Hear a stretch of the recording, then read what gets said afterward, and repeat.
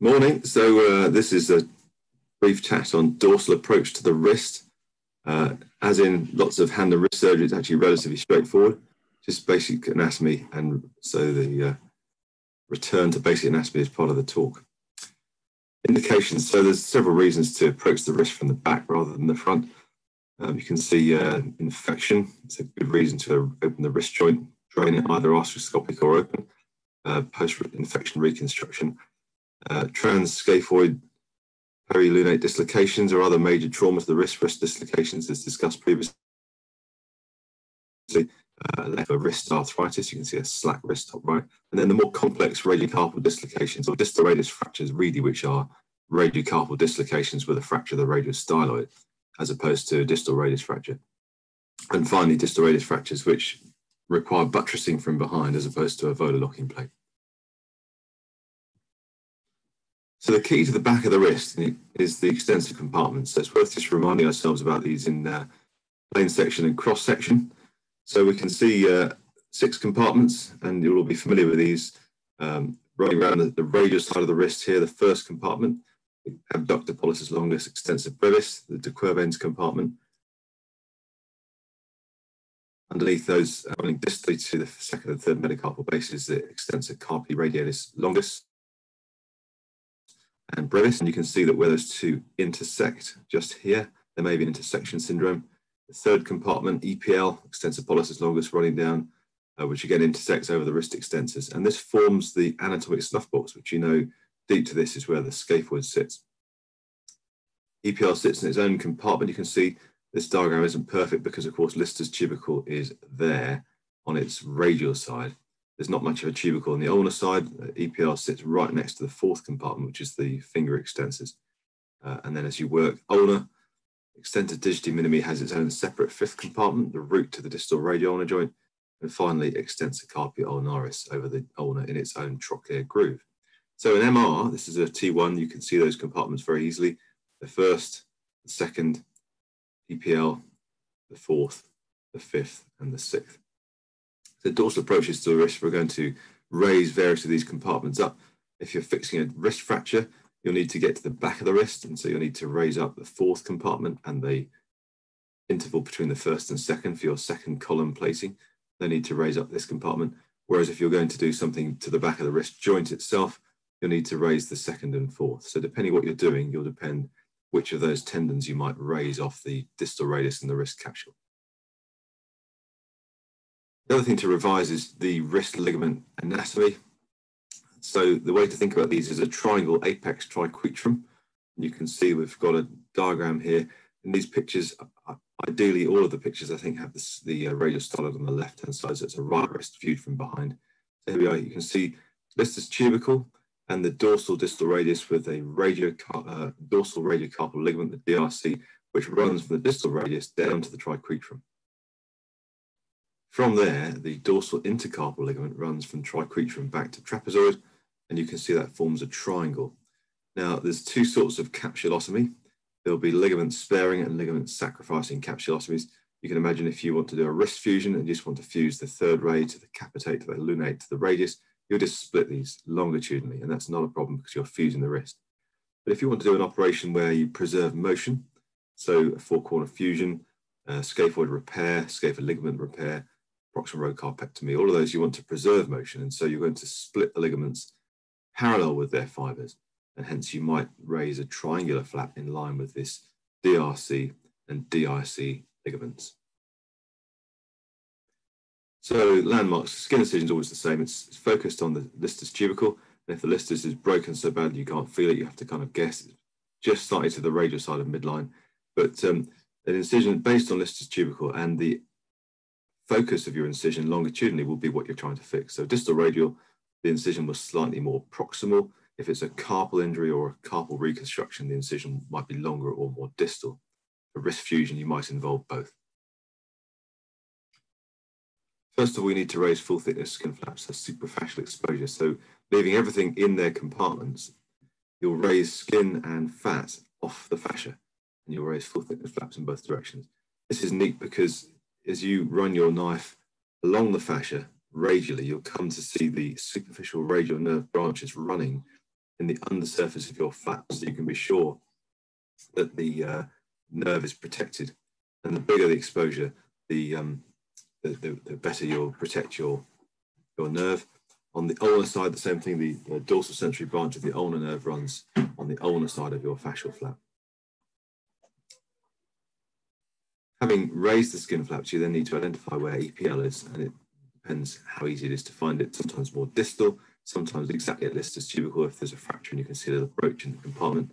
Sometimes more proximal, sometimes it's obvious, sometimes the fascia is thicker. But at any rate, find EPL and release it, and release it all the way down distally, avoiding the superficial radial nerve, which branches will come over the roof of your incision, and then release it through the third compartment and radiate the uh, EPL tendon to the radial side. So you're going to reflect it radially. Next move for all approaches is to raise extensor digiti uh, communis from the radius and take it ulnar. So you can see you've got a periosteal elevation of sharp dissection to take the whole compartment off. It's important with EPL, you just there's no way you can preserve the compartment floor, but with E4, you want to preserve the floor of the compartment as best as possible uh, to reduce the chance of adhesions of these tendons to the underlying bone and periosteal dissection. Uh, tendinous dissection is fine, but even better subfascial dissection.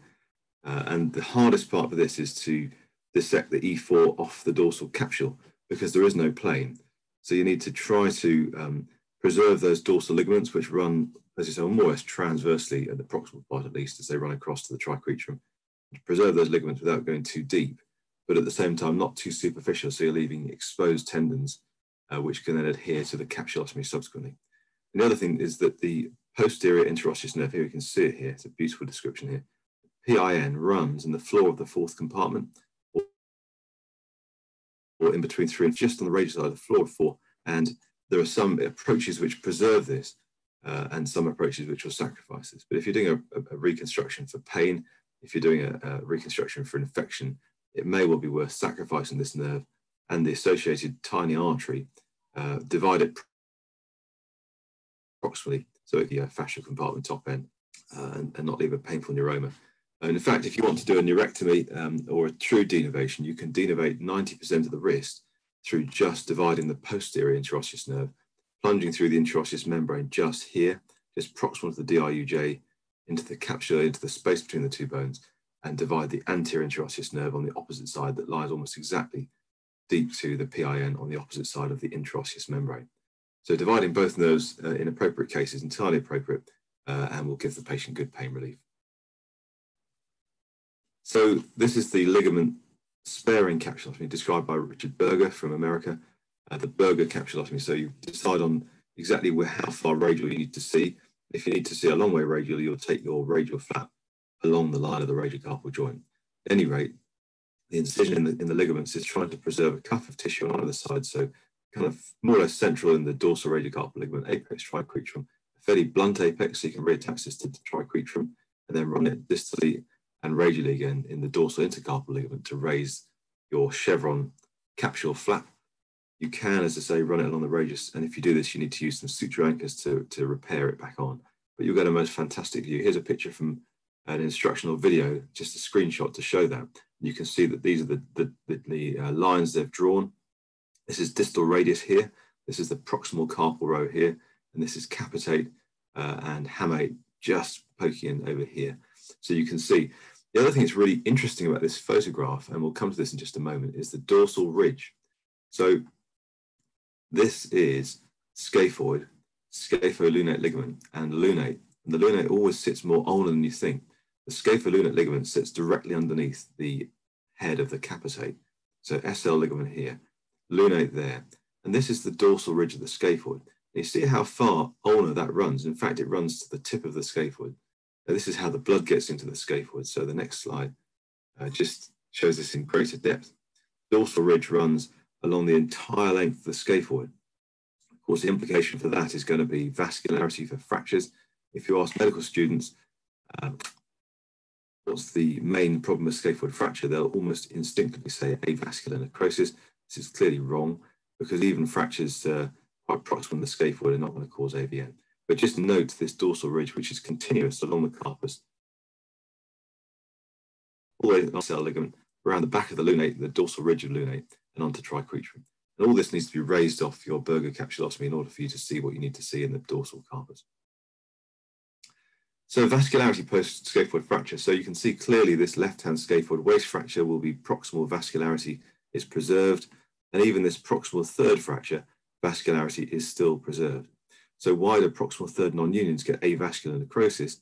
Not because of immediate thrombosis of these vessels, but because of non-union.